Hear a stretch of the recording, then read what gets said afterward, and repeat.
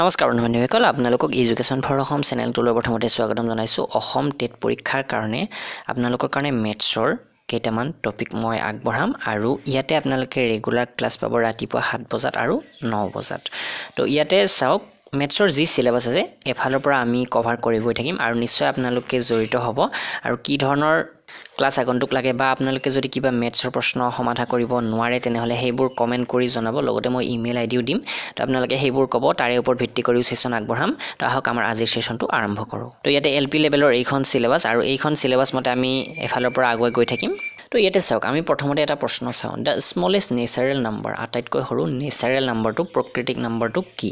তো সেইটো হৈছে ওৱান চাওক ইয়াতে আপোনালোকে চিলেবাছখন লক্ষ্য কৰক। প্ৰথমতে আছে নেচাৰেল নাম্বাৰ বুলি। তাৰপাছত আছে হোল নাম্বাৰ নেচাৰেল নাম্বাৰ বুলি ক'লে কি হয়? একৰ পৰা আৰম্ভ কৰি যিমানবোৰ ইফালে যাব দুই তিনি চাৰি পাঁচ ছয় সাত এনেকৈ এইবিলাক হৈছে নেচাৰেল নাম্বাৰ হোল নাম্বাৰ বুলি ক'লে আৰু এটা যোগ হয় সেইটো হৈছে জিৰ' জিৰ' কোনে আৱিষ্কাৰ কৰিছিলে? আমাৰ ভাৰতবৰ্ষৰ এগৰাকী গণিতজ্ঞই আৱিষ্কাৰ কৰিছিলে? আৰ্যভট্টই ইভেন নাম্বাৰ আৰু অ'ড নাম্বাৰটো আপোনালোকে জানি লওক। হয়তো বহুতে জানে ইতিমধ্যে। ইভেন নাম্বাৰ মানে কি? যিটো হৈছে যুগ্ম সংখ্যা যেনে দুইৰে যিবিলাক হৰণ যায় দুই চাৰি ছয় আঠ এইবিলাক। আৰু অ'ড নাম্বাৰ মানে কি? যিবোৰ দুইৰে হৰণ নাযায় সেইবিলাকে অ'ড নাম্বাৰ। যেনে এক তিনি পাঁচ সাত ন এঘাৰ এনেকৈ যিমানবোৰ গৈ থাকিব সেইবিলাক হৈছে অ'ড নাম্বাৰ। এতিয়া আহিলে প্ৰাইম নাম্বাৰ। প্ৰাইম নাম্বাৰটো অকণমান আপোনালোকে কনফিউজ হ'ব পাৰে। যেনে এক তিনি পাঁচ সাত এয়া প্ৰাইম নাম্বাৰ হয় যিবোৰ দুইৰে ভাগ নাযায়। কিন্তু লগতে এটা কথা হ'ব নটো প্ৰাইম নাম্বাৰ হ'ব নোৱাৰে। কিয় জানেনে? কাৰণ নটো দুইৰে হৰণ নগ'লেও ই তিনিৰে হৰণ যায়। যিবোৰ সংখ্যা বা যিবোৰ অংক কি হয় একমাত্ৰ এই অংকটোৰে বা এই সংখ্যাটোৰে আৰু একেৰে হৰণ যায় সেইবিলাকহে প্ৰাইম নাম্বাৰ কিন্তু নটো চাওক একেৰে হৰণ যায় নবাৰ বা নৰে হৰণ যায় একবাৰ কিন্তু লগতে তিনিৰে তিনিবাৰ যায় তো এইটো হ'ব নোৱাৰে। ঠিক তেনেকৈ পোন্ধৰটো চাব। এই পোন্ধৰটো ফিফটিনটো কি হয় একেৰেতো হৰণ যাবই পোন্ধৰবাৰ বা পোন্ধৰৰে হৰণ যাবই একবাৰ কিন্তু তাৰোপৰি তিনিৰে যাব পাঁচবাৰ বা পাঁচেৰে যাব তিনিবাৰ। তিনি পাঁচ গুণ পোন্ধৰ তো এইটো কেতিয়াও প্ৰাইম নাম্বাৰ হ'ব নোৱাৰে। চাওক ইয়াতে দুই নম্বৰ প্ৰশ্নটো কেনেকৈ আছে? Which is not natural number natural number কোনটো নহয় সুধিছে? এক একৰ পৰা এইবোৰ যিমান হ'ব সেইবিলাক মই নেচাৰেল নাম্বাৰ বুলি অলৰেডি কৈছোঁ। জিৰ'টো নেচাৰেল নাম্বাৰ নহয়। জিৰ'টো এইটো হোল নাম্বাৰ ধৰিলেহে জিৰ'টো হোল নাম্বাৰত পৰে। The first prime number is প্ৰথম প্ৰথম প্ৰাইম নাম্বাৰটো এইটো যথেষ্ট কমন প্ৰশ্ন। এছ এছ চি বা অন্য এক্সামতো আপোনালোকে এইটো প্ৰশ্ন দেখিব পাব। প্ৰথম প্ৰথম প্ৰাইম নাম্বাৰটো হৈছে দুই। দুইৰ পিছত যিমান আছে সেইবিলাক লাহে লাহে প্ৰাইম নাম্বাৰ হৈ গৈ থাকিব। তো প্ৰাইম নাম্বাৰৰ কথা অলৰেডি মই ক'লোঁ আপোনালোকক। The sum of first five prime numbers is এতিয়া এইখিনিতে কণাটো লাগিব। প্ৰথম প্ৰথম পাঁচটা প্ৰাইম নাম্বাৰৰ যোগফল সুধিছে প্ৰাইম নাম্বাৰ দুইৰ পৰা আৰম্ভ হয় দুই তাৰপাছত কি হ'ব? তিনি পাঁচ সাত আপোনালোকে নটো হঠাৎ যোগ কৰি নিদিব। নটো প্ৰাইম নাম্বাৰ নহয়। কি হ'ব প্ৰাইম নাম্বাৰ এঘাৰটো হ'ব প্ৰাইম নাম্বাৰ তাৰপাছত তেৰটো হ'ব পাৰে কিন্তু ইফালে পোন্ধৰটো নহয় সোতৰটো হ'ব তেনেকৈ হ'ব। কিন্তু আমাক সুধিছে প্ৰথম পাঁচটাৰ যোগফলহে? দুই তিনি পাঁচ সাত আৰু এঘাৰৰ যোগ কৰি দিলেই আমি ইয়াৰ উত্তৰটো পাম। কি হ'ব? দুই তিনি পাঁচ পাঁচে পাঁচে দহ দহে সাতে সোতৰ সোতৰই এঘাৰই আঠাইছ। অপশ্যন নম্বৰ এইটো আমাৰ শুদ্ধ উত্তৰ হ'ব। তো ইয়াৰ পিছতে which of the following is a prime number prime number সুধিছে ইয়াতে অকণমান পেজটো কেপচাৰ কৰাত অসুবিধা হৈ গ'ল। চাওক ইয়াতে প্ৰাইম নাম্বাৰ উলিয়াবলৈ আমাক ধৰি লওক নাম্বাৰ কেইটামান দিছে। এই দুটাৰ ভিতৰে ধৰিছোঁ তেত্ৰিছটো প্ৰাইম নাম্বাৰ হ'ব পাৰে নেকি? একেৰে হৰণ যায় তেত্ৰিছেৰে হৰণ যায়। কিন্তু এইটো কি হয় চাওক এঘাৰৰেও হৰণ যায় তিনিবাৰ। এইটো প্ৰাইম নাম্বাৰ কেতিয়াও হ'ব নোৱাৰে। যিবোৰৰ মাথো দুটাহে এই হেৰি থাকে পূৰণফল বুলিও ক'ব পাৰোঁ বা এই একমাত্ৰ এই সংখ্যাটো আৰু একেৰে হৰণ যায় তেতিয়াহ'লেহে এইটো প্ৰাইম নাম্বাৰ হ'লহেঁতেন। তো সাতানব্বৈটো হ'ব পাৰে নে নোৱাৰে বাৰু? তো আমি বাকীকেইটা অপশ্যন চাই লওঁ। বাকী অপশ্যনকেইটা আছে এইট্টি ওৱান আৰু নাইণ্টি থ্ৰী চাওক এইট্টি ওৱান এক আৰু এইট্টি ওৱানেৰে যায়। চাওক এইটো যদি আমাক কয় অযুগ্ম সংখ্যা একাশীটো এক অযুগ্ম সংখ্যা হয় কিন্তু এইটো প্ৰাইম সংখ্যা হ'ব নোৱাৰে। তো একেৰে যায় একাশীবাৰ একাশীৰে একবাৰ আৰু কি হয়? ন ন গুণ একাশী হয়। তো এইটোও প্ৰাইম হ'ব নোৱাৰে। নাইণ্টি থ্ৰীটোও হ'ব নোৱাৰে কাৰণ এইটো হৰণ যায় একত্ৰিছেৰে তিনিবাৰ হৰণ যায়। নাইণ্টি ছেভেনটোৱে হ'ব আমাৰ প্ৰাইম নাম্বাৰটো ইয়াৰ পিছতে find the sum of the cubes of first fifteen natural numbers ইয়াতে আকৌ কিছুমান আমি সূত্ৰ শিকিব পাম এতিয়া। তো এই সূত্ৰবিলাক আপোনালোকে লিখি ৰাখিব লাগিব। মই ইয়াতে ধুনীয়াকৈ লিখি দিম। আপোনালোকে সেইমতে লিখি মুখস্থ কৰিবলৈ চেষ্টা কৰিব। যথেষ্ট সৰু সৰু সূত্ৰ। প্ৰথমতে আমি সূত্ৰ কিছুমান চাই ল'ম। তাৰপাছত এই প্ৰশ্নটো সমাধা কৰিম। ইয়াতে সুধিছে আমাক কিউববিলাকৰ প্ৰথম পোন্ধৰটা নেচাৰেল নাম্বাৰৰ কিউব কৰি আমাক যোগফল উলিয়াব দিছে। ইয়াতে আমি যদি প্ৰথম পোন্ধৰটা বুলি কওঁতে একৰ পৰা আৰম্ভ হ'ব এক দুই তিনি চাৰি পাঁচ ছয় এনেকৈ পোন্ধৰলৈকে প্ৰত্যেকটোকে কিউব কৰিব লাগিব। অৰ্থাৎ ধৰি লওক দুইটো দুইক দুগুণ কৰি আকৌ দুগুণ কৰিব লাগিব। তাৰপাছত সেইটো লৈ তাৰপাছত তিনিক তিনিগুণ তাৰপাছত আকৌ তিনিগুণ কৰি এনেকৈ যোগ কৰিব লাগিব। কিন্তু চাওক এনেদৰে যদি যোগ কৰোঁ আমাৰ কিমান সময় লাগি যাব?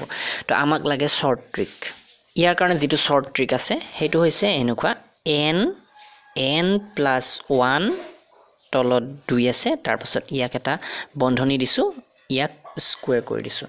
যদি ইয়াতে আমি এনৰ মান বহুৱাওঁ এনৰ মান কি বহুৱাম এতিয়া? এন মানে হৈছে যেইটা নাম্বাৰ কৈছে ইয়াতে প্ৰথম পোন্ধৰটা বুলি কৈছে তেনেহ'লে আমি এই পোন্ধৰটো বহুৱাব লাগিব এনত। আৰু সেইমতে এইখিনি যদি সমাধান কৰি দিওঁ তেনেহ'লে প্ৰথম পোন্ধৰটা নেচাৰেল নাম্বাৰৰ কি হয়?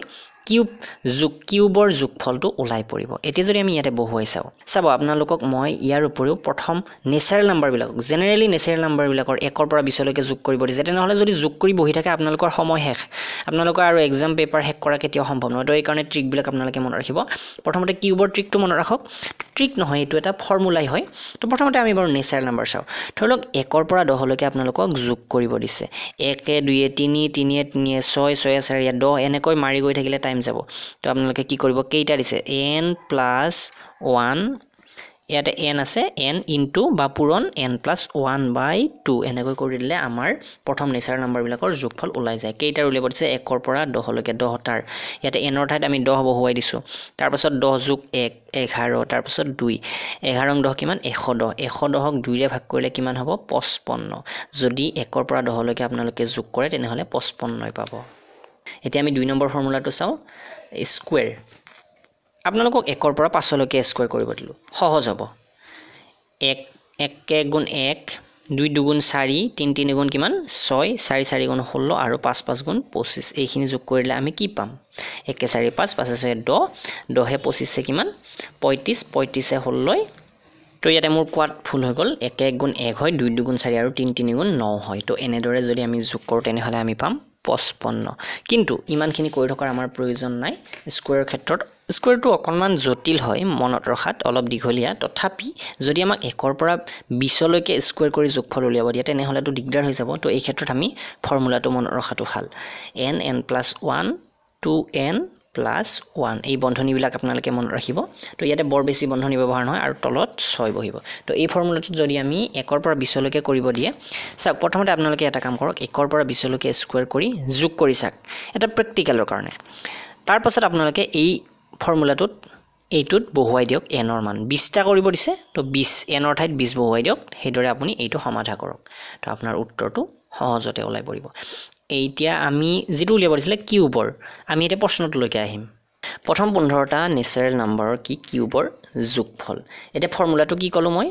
এন এন প্লাছ ওৱান তাৰপাছত বন্ধনী তলত আছে দুই তাৰপাছত এই গোটেইখিনিক বন্ধনী কৰি স্কুৱেৰ। এনৰ মান কিমান? পোন্ধৰ। তাৰপাছত পোন্ধৰ একে কিমান? ষোল্ল। তাৰপাছত দুইৰে ভাগ কৰিব লাগিব। পোন্ধৰ আৰু ষোল্লক প্ৰথমতে আমি পূৰণ কৰি দুইৰে ভাগ কৰি দিম বা? তো এতিয়া আমি এইদৰে কৰোঁতে পোন্ধৰ আৰু ষোল্ল থাকিল তলত দুই থাকিল। এইখিনি কৰোঁতে আমি যিটো মান পাম সেইটো হ'ব এশ বিছ এতিয়া এশ বিছটো আমাৰ এনচাৰ নহয় কিন্তু এশ বিছক আমি স্কুৱেৰ কৰিব লাগিব। গোটেই ফৰ্মুলাটো আপোনালোকে মনত ৰাখক এশ বিছক স্কুৱেৰ কৰিলে আমি পাম চৈধ্য হাজাৰ চাৰিশ। অপশ্যন নম্বৰ এইটো ইয়াৰ শুদ্ধ উত্তৰ।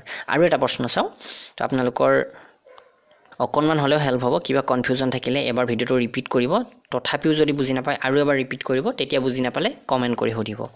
ইয়াৰ পিছত find the sum of first thirty seven odd numbers odd numbers এইটো আকৌ এটা ফৰ্মুলা আপোনালোকে পাব এতিয়া।